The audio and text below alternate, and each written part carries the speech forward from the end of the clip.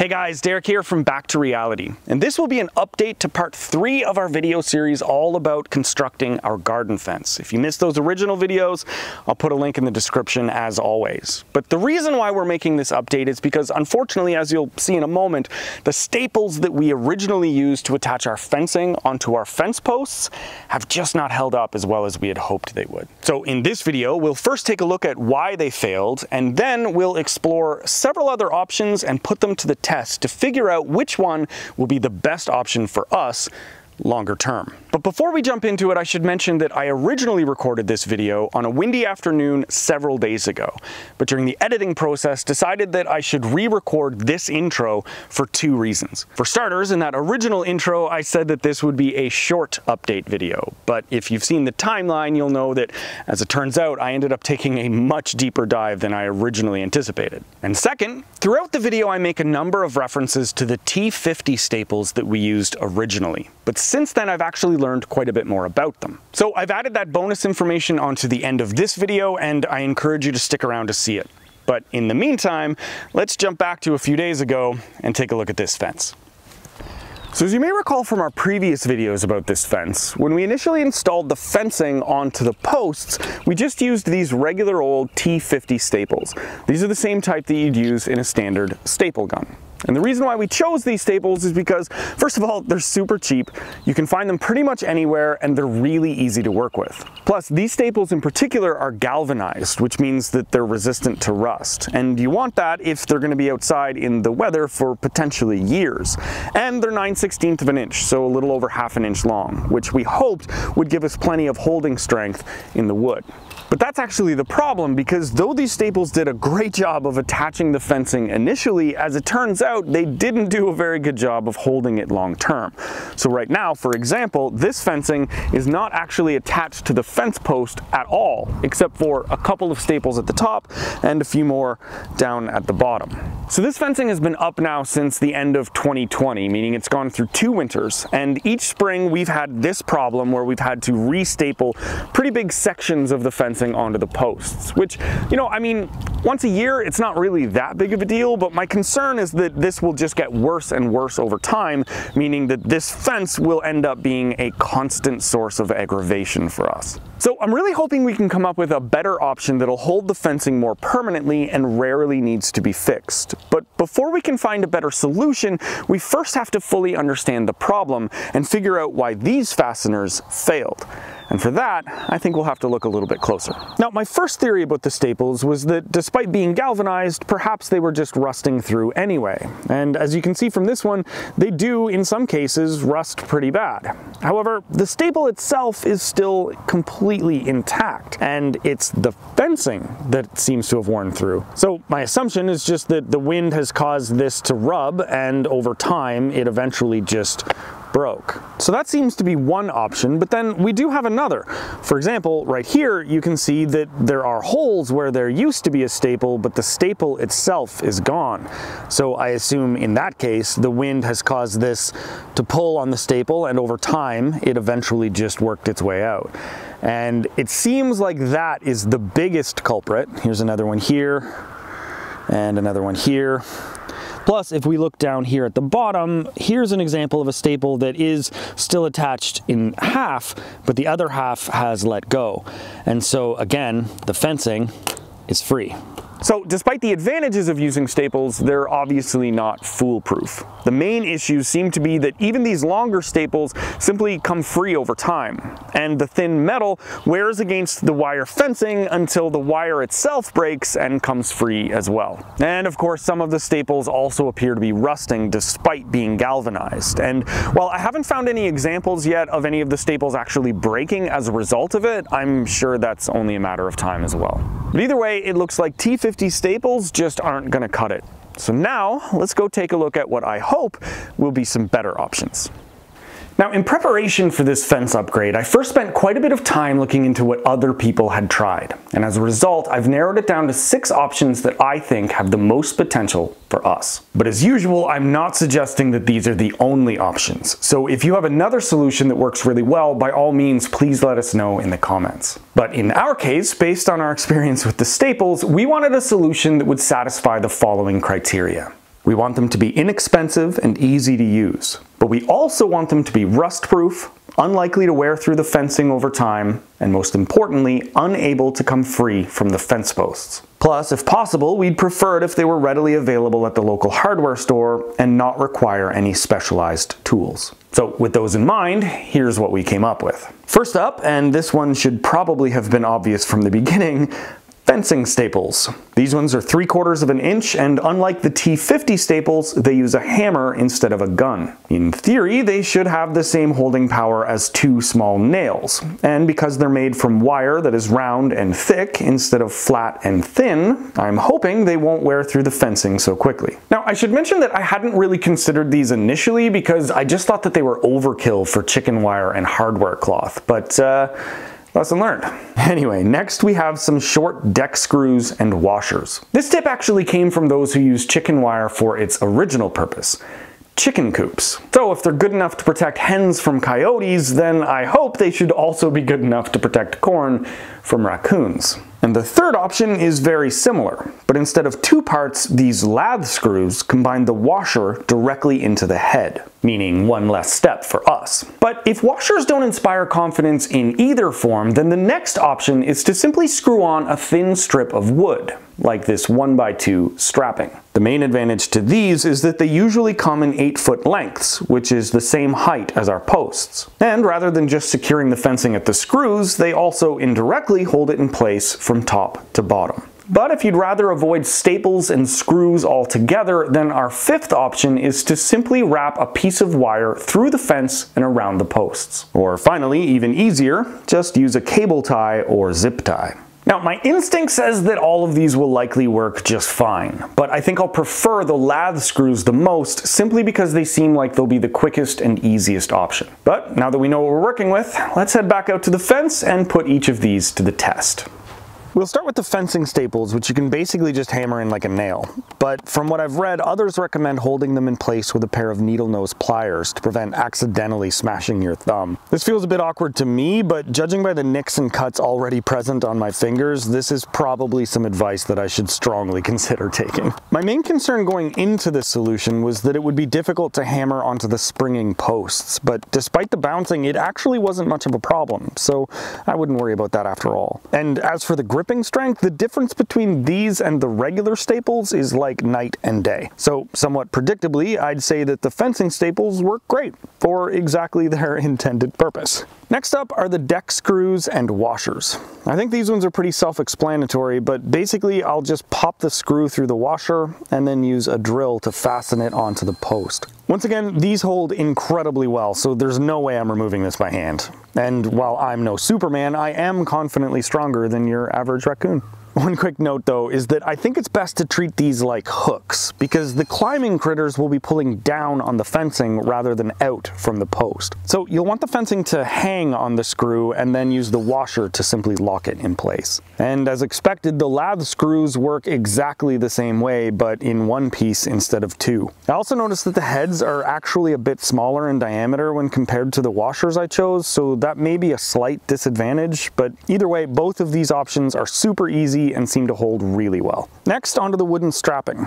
In this case, I just held it up, put a screw in the top, and then added a few more down to the bottom. The only annoyance I found with this method is that the wood splits really easy, so I'd recommend pre-drilling the holes. It's an extra step that does take a bit more time, but in the long run, I think it's necessary. Once again, this should be just as resistant to climbing animals as all the previous methods, since it's really all about the screws. But I do like the fact that the wood holds the fencing to the post all the way from the top to the bottom. I feel like it would prevent some of the flapping that tends to happen in the wind, and over time that might decrease the wear and tear on the chicken wire.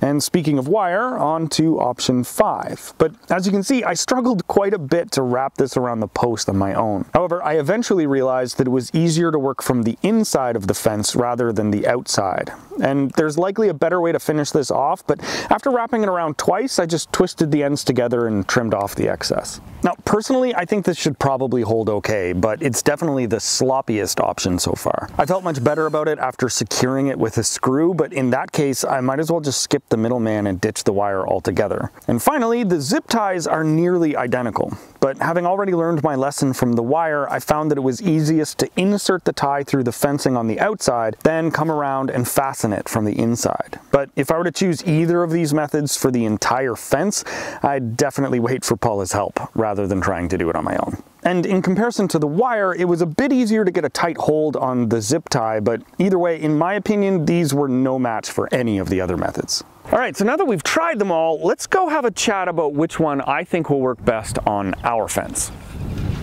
Now, before I try to rank these and make a final decision, I think it's fair to say that any of these options would work just fine and all of them would be vastly superior to the staples we originally used. But if we compare them to the criteria I mentioned earlier, then I think there'll still be some clear winners and clear losers. And to keep things simple, I'll award each method points based on its ranking in each of the categories. Six points for first place and one point for last place. Oh, and just in case you're in a hurry, you can also jump past my reasoning and straight to the conclusions by skipping to this time marker. But for everyone else, let's break this down a bit. So, starting with the low-hanging fruit, I bought each of these from the local hardware store, meaning that for that category, they're all tied with 6 points. Next, all of these options are considered to be rust and weather resistant, but that's mostly because I specifically chose those options where available. And remember, it's not just about the metal parts, because I also chose ties that were UV resistant so that the plastic wouldn't break down in the sun. And I'd probably consider sealing that wooden strapping in some way as well. But either way, I'll give them each 6 points in that category too. Plus, all of these options used tools that most people already have at home, so again, 6 points each. But here's where we should start to see some differences. For ease of use, the lathe screws obviously take first prize, followed closely by the screws and washers, then surprisingly to me, I'd rank the fencing staples in third place, then the strapping, zip ties, and in last place, the wire. Again, none of these were truly difficult, but some were definitely easier than others. And next up, it's a little unfair to judge the wear and tear on the fencing based on only trying these on a few posts, but no matter what, the plastic zip ties are just never going to wear through the metal chicken wire. So in this category, they should come first. But after that, I think I can just rank the rest of them based on how much surface area they cover and on how little movement and friction they allow. So with that in mind, I think the strapping would have to come in second place, followed by the washers, and then the ever so slightly smaller lathe screws. After that come the fencing staples, since despite having a small surface area, they still provide a tight hold and have no sharp edges. And finally, in last place, the wire wrap, because it's harder to make tight tight and the thin wire on wire contact is likely to be a weak point. But now for their ability to actually remain attached to the fence posts, which again seemed to be the biggest problem we had with the regular staples. For this, I think all three of the screw-based options should get full points, followed very closely by the fencing staples, then the wire. And I'll put the zip ties in last place in this category for the same reason that I put them in first place in the previous category. Because if it comes between the plastic ties and the metal wire, the ties are almost certainly going to wear out first. Now, to be perfectly honest, this category is pretty arbitrary because I really can't imagine any of them coming loose over time and we can't prove it until we've used them for a full season. So at this point, with only one criterion left, the lathe screws are in first place and the wire is in last. But depending on the size of your fence, the cost could quickly become a deciding factor. So Let's add that in. In our case, we have 21 fence posts, and we'll assume that we need 5 fasteners per post. In reality, we may require a few more or a few less, but 5 makes for easy math. So 5 fasteners times 21 posts means that I'll calculate the cost for each method based on a total of 105 fasteners. Plus, in the case of the strapping, we'll also add in 21 1x2s. Oh, and all of these are in Canadian dollars, and for simplicity, I didn't include any taxes. But after doing the math, the cheapest option by a country mile is the fencing staples, at approximately 3 cents each or about $3 for the entire fence. In second place come the lathe screws, at about 8 cents each for a total of $8.40. Next come the plastic zip ties at 15 cents each or about $15.75 total. Then in fourth place, we have the wire at 17 cents per foot and a half, which seems to be a rough average of the length needed for two wraps and a twist. Of course, depending on the diameter of the post.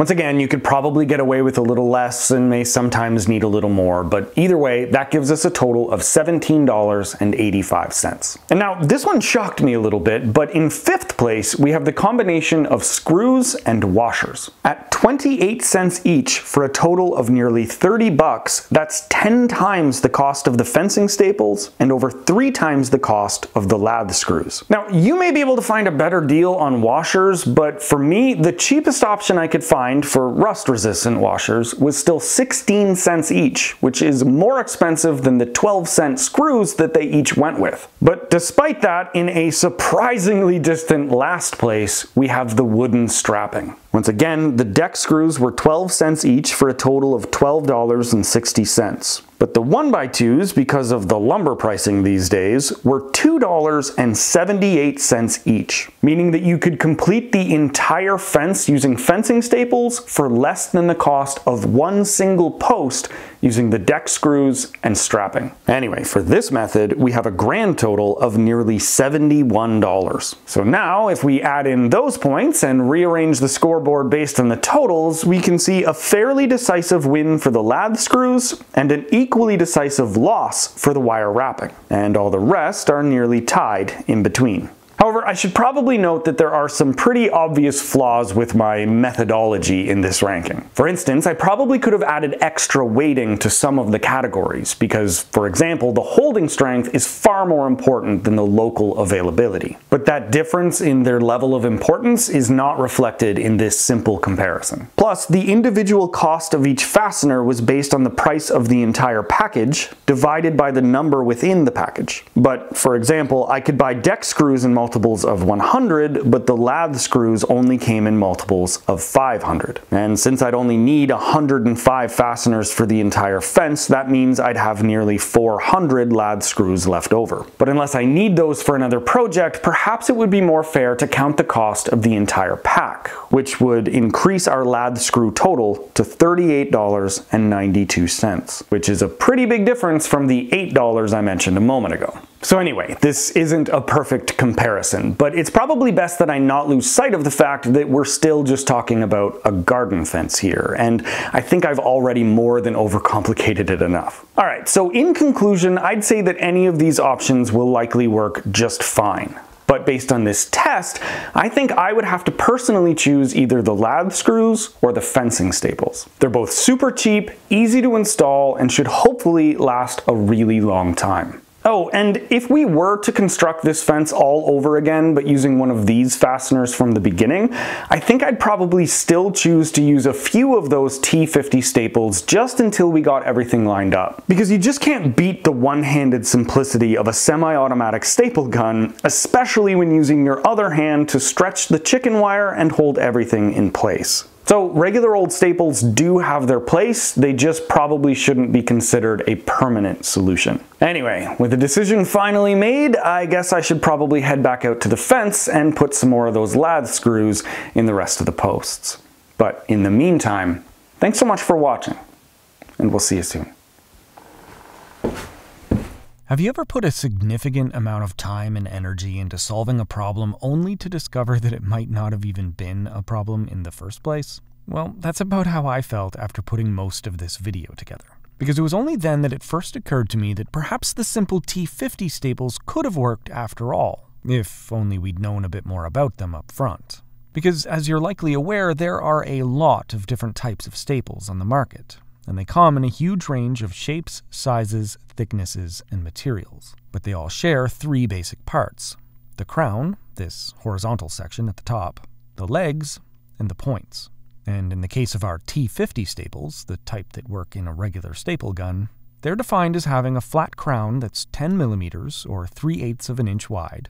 They typically come in different leg lengths from quarter inch to 9 sixteenths, then there are two basic styles of points chisel, where both legs are sharpened symmetrically when viewed from the front, and divergent, where both legs are sharpened in opposite directions when viewed from the side. And as it turns out, when choosing the right staple for our fencing, it's those last two parts that may have deserved a bit more consideration, because it's possible that getting them wrong could have contributed to our main two problems the staple's lack of holding strength and the wear and tear on our chicken wire. For example, I initially chose the 9 16th leg length simply because I assumed that, like a screw, the longer the staple, the better it would hold. And generally speaking, that is true, assuming the entire staple is able to penetrate the material you're attempting to fasten. You see, there are a few general rules of thumb when deciding which staple length you should choose, mostly having to do with the thickness and density of the materials you're fastening. But the most important thing to remember is that if the crown of your staple doesn't rest flush after being inserted, then the staple is likely too long, and you should use a shorter size instead. And unfortunately, when we once again look closer at the staples on our posts, you'll see that many of them stick out slightly, meaning that shorter staples may have been more appropriate. But why is this a problem? Well, because loose staples allow the chicken wire to move around in the wind and under the weight of climbing animals. And over time, that extra movement can cause wear on the fencing and can slowly wiggle the staple free. But there's more because I also chose staples with a regular old chisel point, mostly because I didn't even realize there was a difference. But in hindsight, I think a divergent point might have been a better choice. You see, since the points are sharpened in opposite directions, they cause the legs to flare out when inserted, rather than going in straight like the chisel points. And this extra flare is said to result in a much stronger hold, sort of like how a drywall anchor works. So, to test this new theory, I drove back to the local hardware store and purchased a pack of these 3 eighths of an inch divergent point staples.